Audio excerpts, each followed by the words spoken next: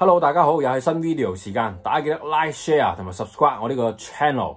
咁啊，第一班線上鐘錶知識課程馬上就開班啦！啊，大家 cap 下面 link 啦，了解詳情，即刻報名啊！咁啊，根據裡面嘅指示報名啦，咁希望喺班上面可以見到大家。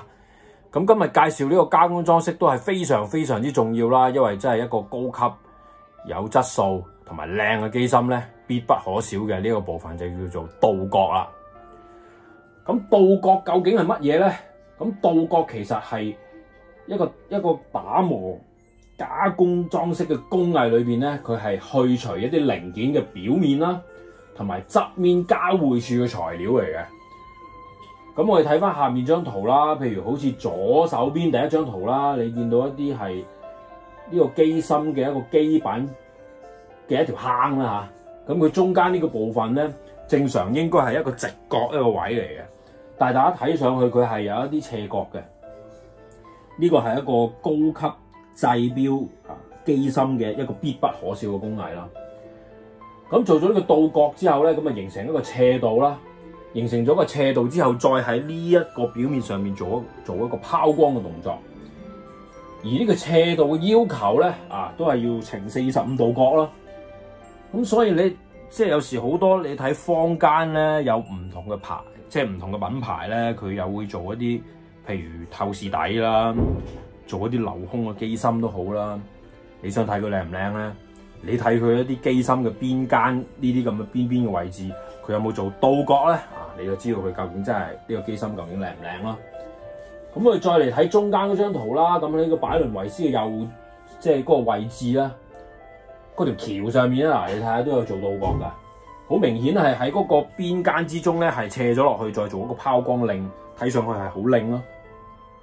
咁我哋再睇咧，嗱右手邊咧呢、個係 A.P. 啊 A.P. 嘅一個自動擺陀啦。你睇佢個自動擺陀係做咗一個誒、呃，都都透視式啦嚇。咁啊，就做咗啲加工裝飾啦。你睇佢個邊欄都係有做倒角呢個工藝嘅。甚至乎如果睇得細緻啲嘅朋友咧，留意下下方啊。